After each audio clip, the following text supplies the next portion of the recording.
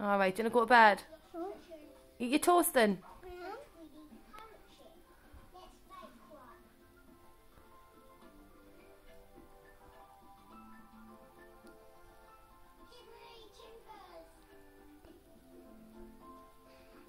You're tired.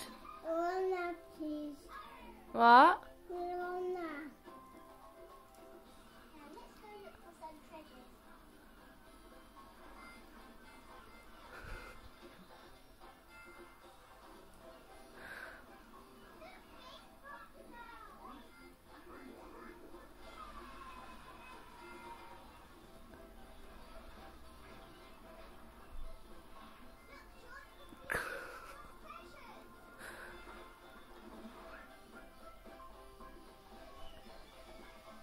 Caleb.